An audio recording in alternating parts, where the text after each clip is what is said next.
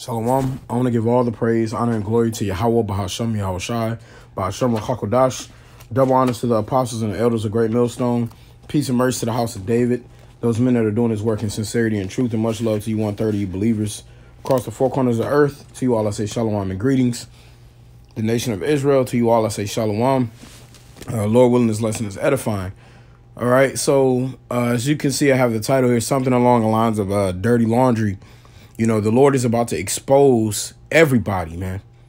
To to put it plainly, you know, and I I mean everybody save the elect because the, I, I've I, and I just had this thought just now.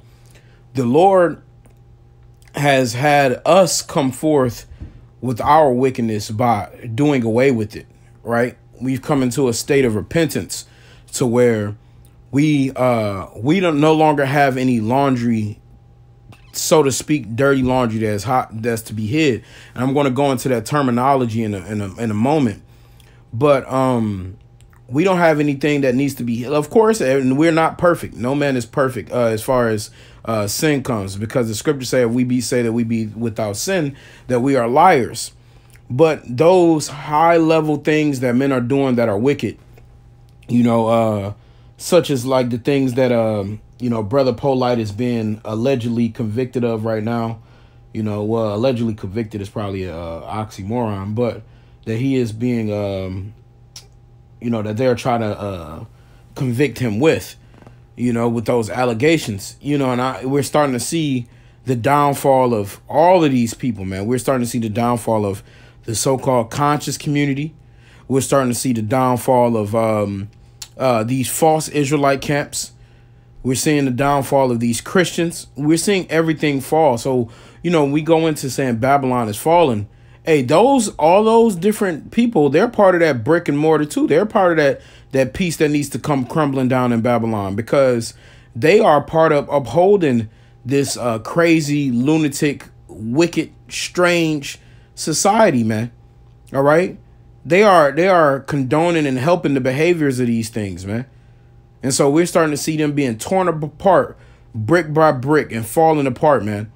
You know, just like IUIC has their uh, logo with the, uh, and it's ironic that they have that. They have the bricks on the wall. It says like IUIC, um, Israel United, and, uh, you know, and the C word. That's almost, that's worse than cussing saying the C word.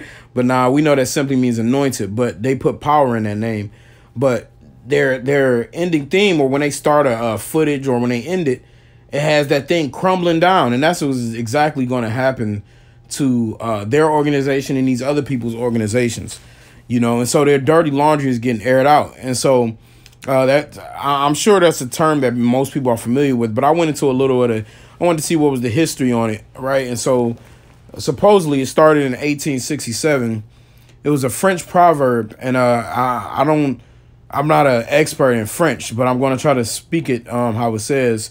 It says, Il faut avoir son linge salé en famille. So, which means like, uh, it's supposed to mean, um, don't wash your, your, your laundry is supposed to be washed at home. Or your dirty laundry is supposed to be washed at home. Which really goes to meaning things that are private are supposed to stay private or things that are uh, you don't want everybody seeing your dirty laundry. See, that's why I had a clothesline one because, you know, right now we have washers and dryers and things like that. But there was a time when you had to, and I remember my parents and my grandparents used to do this like when I was young. Um, my grandparents, my grandmother's from Louisiana. So when they would have to wash and dry something, they would wash it by hand and then they would hang it all on a clothesline. Right. But let's say, for instance, um, your child had an accident right? Uh, bed or bedwetting accident, and you go and clean the blanket or clean the sheet. Sometimes when the sheet is uh clean, it might take multiple washes in order to get that stain out, right? So those sheet will be out there. You got a, a piss sheet hanging in the middle of your your your yard. So if somebody drives by, they're like, God damn, somebody pissed in the bed, you know, and something like that. So, or you got dirty laundry and you know, you got a, a child or an adult who haven't, uh, uh, they can't hold their bowels and they're shitting in their pants. You know, you wash it and the stain doesn't quite come out, right? So basically, people are becoming aware of the things that you thought were private matters. So now, basically, it's a metaphor for you being aired out for the things that you thought were private, that you thought was private. And that's exactly what's going on with all of these different groups. Their mind state is that their things are private and that uh, they're they're not going to get sought out. But the scriptures say your own sins shall be your accuser in that day, man. You know, so I'm going to get uh, get a few precepts, but that's exactly what's going to condemn these people, their sins, their wickedness, and the heavenly Father is showing uh, who He's dealing with. All right, and that's starting with the apostles and elders of Great Great Millstone on down, man. All right, uh, let me start with this. This is Ezra, chapter nine and six. You know, and this is a prayer, but it's a good precept. It says, um, and said, "Oh my power." I am a. I'll start at five, and it says, and at the evening sacrifice, I arose up from my heaviness, and having rent my garment and my mantle, I fell upon my knees and spread out my hands unto the Lord my power, and said, O my power, Yahweh, I am ashamed and blush to lift up my face to thee, my power, for our iniquities are increased over our head, and our trespass is grown up into the heavens. And so the Revelation um, 18 chapter goes in on that as well. It says, Your sins have reached into the heavens. And that's what's happening with the two thirds of our people because our sins, we're confessing those uh, uh, to Yahweh by Shem Shai. We're telling them the things that that's wrong with us and the things that we're asking to fix. But these people are slack to repentance. All right. They're they're slack to come back they don't want to come back to Yahweh Shem Shah. They loathe his law. They want to continuously be wicked. All right. And many of these men that know they're Israelites and they're just uh, being rebellious. Like Sarnetta. Sarnetta knows he's an Israelite. He does, man. He can say whatever he wants to. That man knows he's an Israelite. And that's why he speaks the way he says uh he he says something. Uh, he mentioned dirty laundry too. Actually, I was just watching this video that just a brother has shared it but um, and dirty laundry made me remember. I, I was talking to the brothers maybe a week or so ago, and I told him I was like, "Hey, dirty laundry. That's the name of a, a video of a lesson, you know." And so he reminded me like, "Oh," and it was perfect. You know, it was perfect because he's gonna get aired out too, man. Regardless if it come through this polite situation or another way, man. You know, the Lord already uh, smote the man with AIDS, HIV AIDS. You know, and so the Lord is going is coming to jack you people up because y'all want to keep being rebellious. You want to keep being wicked and you want to do what you want to do. You know, he's on there uh defending that woman who's always on there in the paw. Hey, that's what he said. He said, like, yeah, to the, the the holy people or the chosen people or something he said to that effect. He knows he's an Israelite, man. That's why he be pulling out precepts, just like those uh um um those Muslims be doing, man. They pull out pre go Farrakhan, always referring to the Bible. Right? We the only time we refer to the uh, Quran is to tell you that it's not the Bible, to tell you that it's not righteous, that is not the word of God. That's the only time. But they refer to it as because they know the prophets come out of the nation of Israel, according to Amos 2 and 11, man. Okay? But let me read this. This is Psalm 6 and 10. It says, Let all mine enemies be ashamed and sore vexed let them return, let them return and be ashamed suddenly. And all of you people have turned into our enemies, man. All right? And, and you're going to be punished for that. And it's because you're not just our enemies, you're enemies of the Heavenly Father and His Son. Due to your ways, man. Okay? And so he says, uh, let them all be ashamed and sore vexed. And because we've been uh we we ashamed at y'all actions, man. We like, God damn, and these are supposed to be the Israelites, and look how they acting. You know, but the Lord is not going to leave that burden upon us. He said he's just going to destroy you, man. You know, like the apostle said, man, if we had to save all of goddamn Israel, man, we will never get out of here. We'll never leave. Right? But that's not the case. The Lord said it's for a remnant. He looking for that remnant uh, to, uh, that he said remnant shall return, man. A small amount, a small sanctuary is going to return to the Heavenly Father. The rest of y'all going to keep being wicked. This is Psalms 25 and 3. It says, um, I started two. Unto my power I trust in thee. Let me not be ashamed. Let not mine enemies triumph over me. Yea, yea, let none that wait on thee be ashamed. Let them be ashamed with transgress without cause. See, y'all transgress without cause. Y'all sin, and y'all don't even be having to. You sin because you want to sin. You want you you want to be wicked, man. You enjoy being wicked. All right, it's a thrill for you.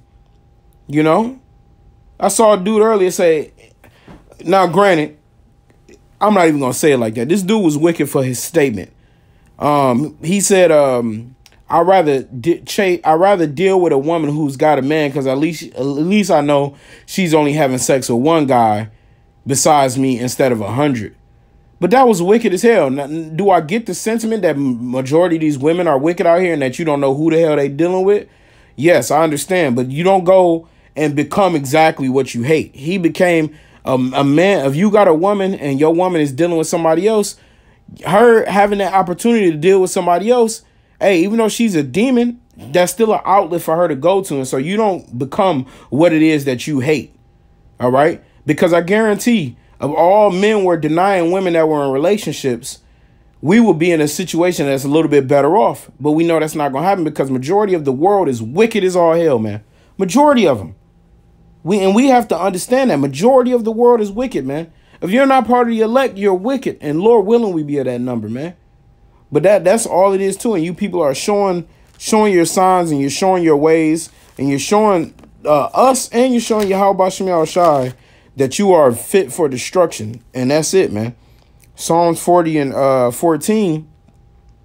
It says, Let them be ashamed and confounded together that seek after my soul to destroy it. Let them be driven backward and put to shame that wish me evil. You see? So y'all wish us evil. Y'all, y'all, y'all hope bad things gonna come upon us. Y'all, y'all say, uh, how did he make it among a lot of the saints? All right. Y'all, y'all, y'all, come, y'all be together on this, on y'all missions, man. Sinetta, the conscious community. All right. You even got uh, Captain Tazaryach and uh, all of them other cats over there gung ho with you, bumping shoulders like y'all all together, man. But y'all are because ain't none of y'all doing what the Heavenly Father asks or required you to do. Right? And that's why the guys like Captain Tazaryach is taking the jab and influencing other people to get it. But when you people start falling by the wayside, man, we're going to look at you and we're going to laugh. All right, we're going to shake our heads. And we're going to we y'all y'all showing the fruits of y'all wickedness, man. Okay? And so sort of let them be driven backward and put to shame. So y'all think the bad things are going to come upon us because y'all slander us. All right? The, the, the scriptures say we shall be blameless in the eyes of the people, man. At the end of the day, they try to persecute us just like they try to persecute the Lord without cause we blameless at the end of the day. Like we're doing what the Heavenly Father has asked of us and nothing else, man. So anything that y'all try to put on us is a slander. Okay? Um, now let me go over to the book of book of Isaiah. I'm going to go to the 26th chapter and the 11th verse. Isaiah 26.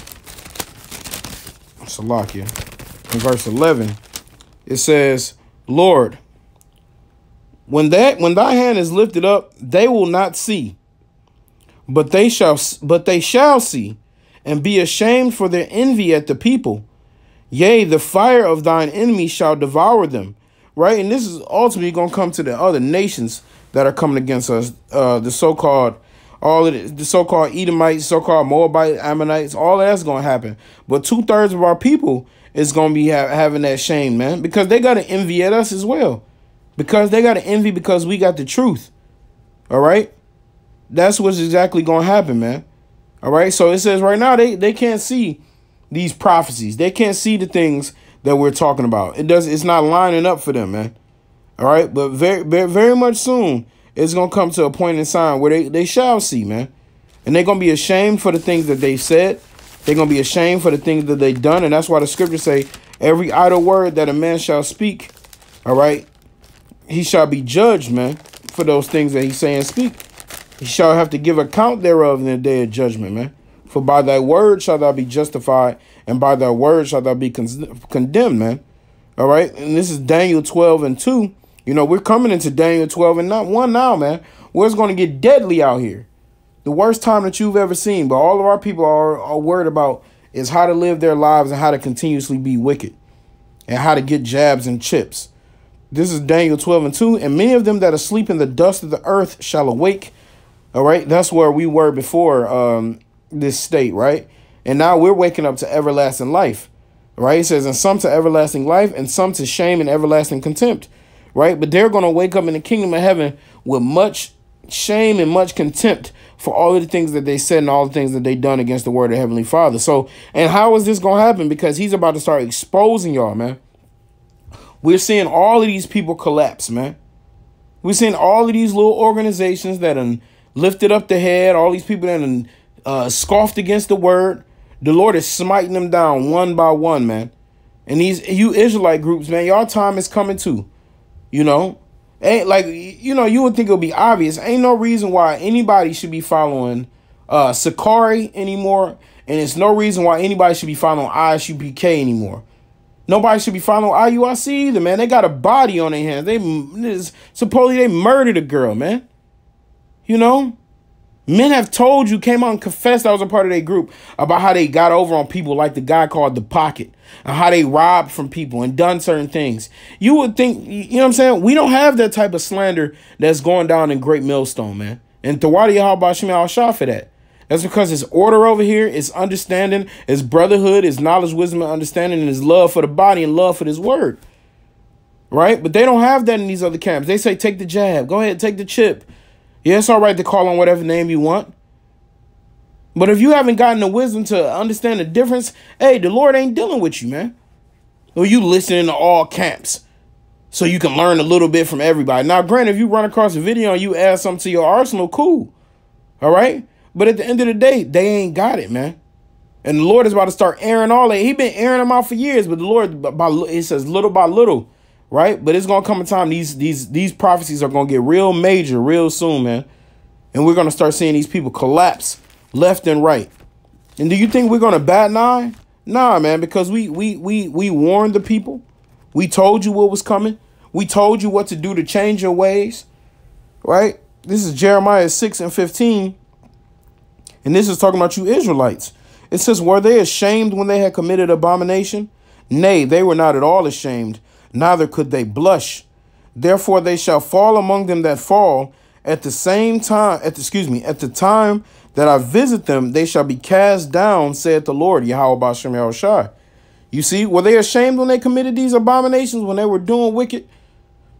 No, they were not ashamed at all, man. It says they were not at all ashamed. So because they act this way, all right. The Lord said, neither could they blush. You know, usually when you you be ashamed or embarrassed, you might blush a little bit. It means you like you get embarrassed. Your your, your skin get a little lighter. Your your blood come out in your cheeks. It says they didn't even blush, man. It says they they just uh, we wicked. You know what I'm saying? Just we we went along with it. They no had no sense of shame in doing their wickedness, man.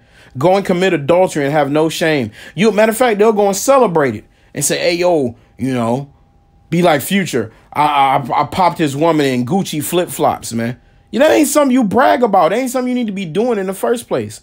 So when you get when you when the Lord visits your ass and you fall, you know that you've been warned, man. And your all your dirty dirty laundry gonna be aired out. And the main time all you people's dirty laundry gonna get aired out is when you getting judged and martial law and we laughing at you. And mainly when the missiles come down, man. All right, because you're gonna feel you gonna that's the most uh, vulnerable you're ever to feel in your life. I, and Lord willing, uh, me and me and brothers, all right, getting beamed up during that day. But I could just imagine the amount of vulnerability that you feeling knowing that missiles are about to come down to you and destroy you. And there is absolutely nothing that you can do to be saved from it if you have because you know you've done nothing to serve Yahweh Shem Shah. That's a treacherous feeling. It's a, it is a terrible thing to fall into the hands of the living power, man.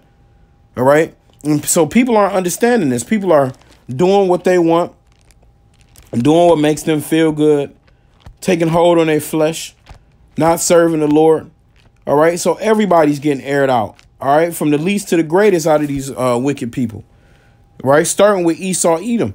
And y'all been following after him from too long, man. This is Second Thessalonians 3 and 14 it says, um, and if any man obey not our word by this epistle, note that man and have no company with him, that he may be ashamed. You see? So when y'all ask us, oh, well, why can't we all get along? Why can't we all do this? The scriptures say, hey, you got to note that man. If you don't obey the words of this epistle, if you don't obey the words of these scriptures, all right, or these letters, these books, all right. It says, note that man and have no company with him. That's a cold cut for all of that. Let's get together and kumbaya nonsense, man. It says that he may be ashamed, and that's what's going to happen.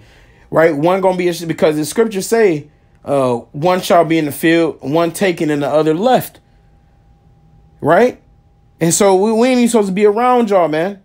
Because being being around y'all, y'all got spirits and demons on y'all, but y'all gonna be ashamed in that day, man. Okay? That's what that's what's gonna come down, man. Now let me go to the the book of Romans, man. Lord is airing all y'all out, man.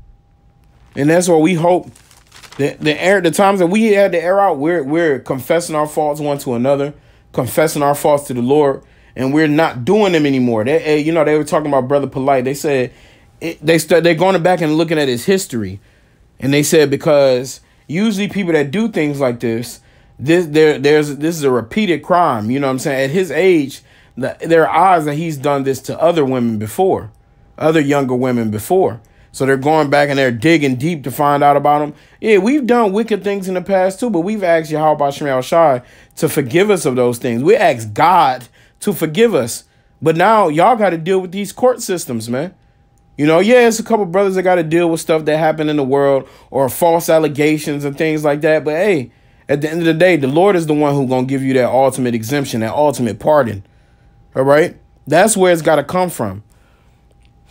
This is Romans chapter three and verse four. It says, um, "God forbid, yea, let the Most High be true, but every man a liar." as it is written, that thou mightest be justified in thy sayings and mightest overcome when thou art judged. You see, so it says, every man shall uh, give account thereof in the day of judgment. We shall all sit in the judgment seat of Hamashiach, man. We all got to be judged. All right. But we hope that we're judged so we may overcome. It says that we might as overcome when thou art judged, which means we can not be judged and get condemned. That when we judge, the Lord can say, okay, hey, because when you go before a judge, what they say, either you're going to be innocent or you're going to be guilty, right? There are other little pleas in there, but ultimately, innocent or guilty are the main two. And so we want to be found blameless. We want to be innocent before the eyes of Yahweh Shemal Shine and not be condemned to missiles. All right? Because that's what's about to happen, man. Okay, so it says, let the most high be true and every man a liar. So we ain't listening to y'all nonsense because all y'all doing is y'all straying our people in the wrong direction, telling them to get the jab, telling them to do this, telling them to do that, telling them to take the chip. The MOTB is is philosophy, you know. Uh, and uh, Elder Yashawama brought out earlier, I believe Revelation 16, when it goes into that incurable wound, you know, uh, he got it in NLT, and man, I forget exactly what it says off the top of my head, but roughly paraphrasing, it basically had an inclination that it's something that had to be put inside you, man. Right? Revelation 16 and 2, it says, And when the and the first wind and poured out his vial upon the earth, and therefore a noisome and grievous sore upon the men which had the the uh, MOTB, and upon them which worshipped the image, worshipped his image, you know? And it basically said it was something that you that uh that you knew it had damage had to come from the inside, man. You know, like Apostle Tar was going into this, to this ulcer, man. Something that can't be healed or cured. You know? And the main thing you're not to be able to cure, ultimately, not only is your body, because you're to get destroyed in that, that lake of fire by the missiles, but you can't cure your salvation with the Lord. The only time that two thirds are going to be cured is after that fire occurs. And then they're reborn in the kingdom of heaven, man. All right. This is, uh, uh, Romans 2 and 15, it says, which show the work of the law written in their hearts, their conscience also bearing witness, and their thoughts the mean, while accusing or else excusing one another, in the day when the Most High shall judge the secrets of men by Yahweh Mashiach according to my gospel. You see? So the Lord said he going to judge the secrets of men, man. That's dirty laundry right there. All the shit you thought you was hiding. Everything that you thought you was going to get away with, man. His eyes are 10,000 times as bright as the sun. He see all of that, man. And y'all people think they're going to be exempt. You're going to be exempt from judgment. The only people going to be exempt from judgment are the people who have that dawa, man. That mark of exemption. Okay? The elect. Those are the only people going to be exempt from the judgment of Yahweh Shemal Shah. This is um Sirach 16. Uh, I started 11. It says, and if there be one stiff necked among the people, it is a marvel if he escaped unpunished. For mercy and wrath are with him. He is mighty to forgive and to pour out displeasure. You see the balance of the Heavenly Father. But he says, it's, it's a marvel if you of a wicked man escape unpunished, man. All right? But it says mercy and wrath are with him. So he's a God of mercy and he's a God of wrath. He said he's mighty to forgive, but he eh, he'll pour out displeasure too. He'll let you know that he's upset, man. It says, as his mercy is great, so is his correction also. See, everybody likes to believe that Heavenly Father is just all about forgiveness. He's about correction, and he corrects through judgment. It says, oh, the next sentence says, He judgeth a man according to his works. The sinner shall not escape with his spoils, and the patience of the godly shall not be frustrated, man. You see? So the sinner is not going to escape with his spoils, man.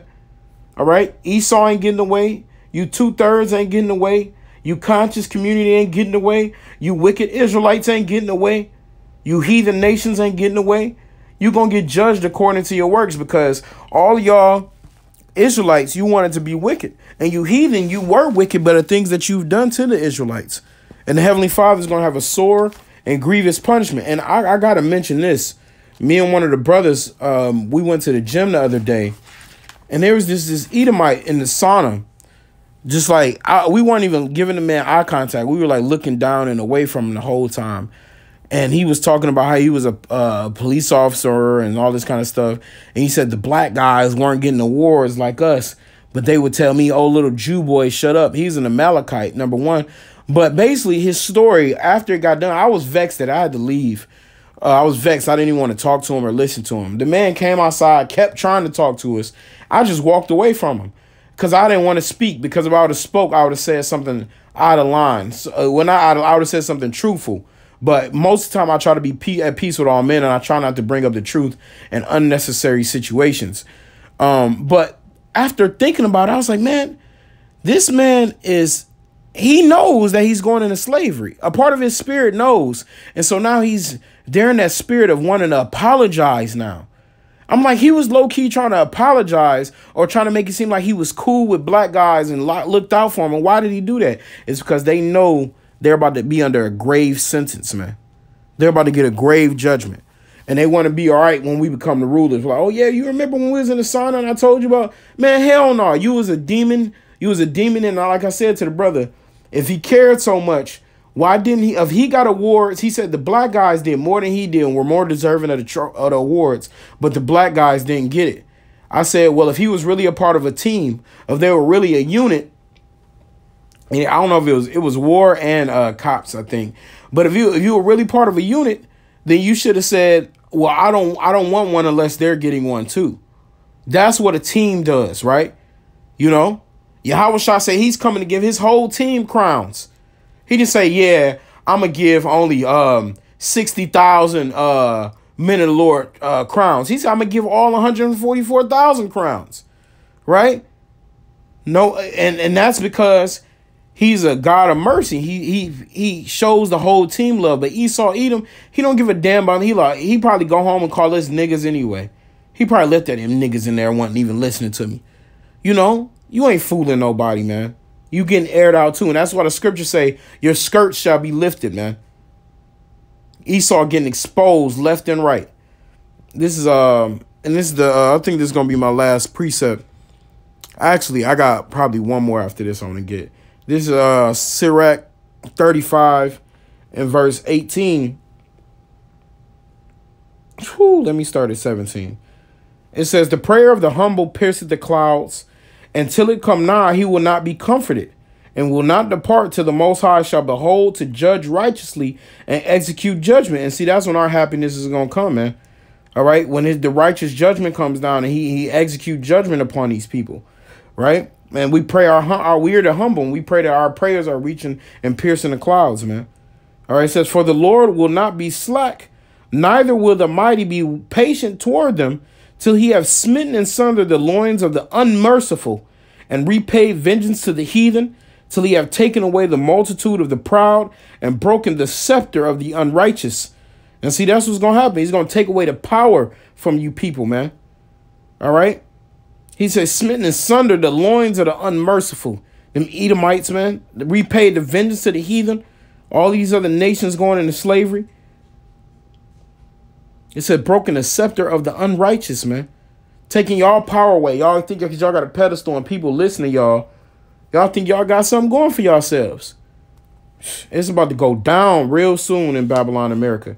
It says, Till he have rendered to every man according to his deeds, and to the works of men according to their devices, till he have judged the cause of his people and made them to rejoice in his mercy.